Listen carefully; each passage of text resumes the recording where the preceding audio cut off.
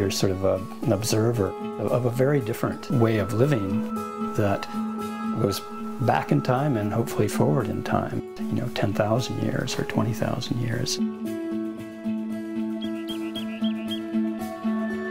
The activity for the lamb, I mean, some of it's functional, obviously. I mean, they have to move from foraging patch to foraging patch. There actually are attacks by predators, and so they have to evade predators. But some of the other activity is play, and that's basically practicing what they are going to have to do as adults, or even things that they're going to have to do as lambs, but just getting better at it. And that's running, you know, these just flat out streaming runs the lambs will do.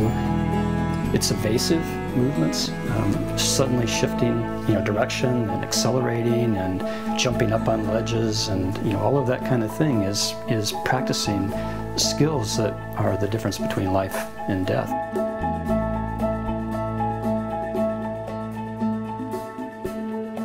It's energy well invested.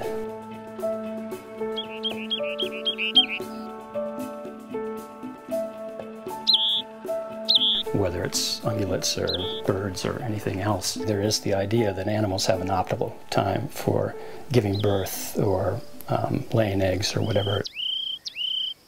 The, issue in terms of reproductive timing for an ungulate, because they eat plants, is what happens to the timing of the, the reproductive schedule of plants.